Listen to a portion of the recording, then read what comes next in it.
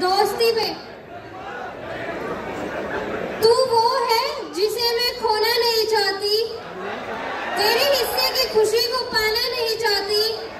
चाहे दिन दुनिया इधर के उधर हो जाए, तेरे साथ बिताए दिन भूल जाना नहीं चाहती खूबसूरत तो बहुत है दुनिया में मगर तुझसा मैंने देखा नहीं साथ तेरा मेरा हमेशा रहे यही अरदास है मेरी दोस्त दोस्ती तेरी इत्तेफाक तो नहीं थैंक यू बहुत अच्छी। जी रहे हैं हमारी तो सिर्फ़ कट रही है। और इतना बड़ा तो मैं शायर नहीं इस कि इस कदर कुछ आप देख रहे हैं कि मेरी कट रही है।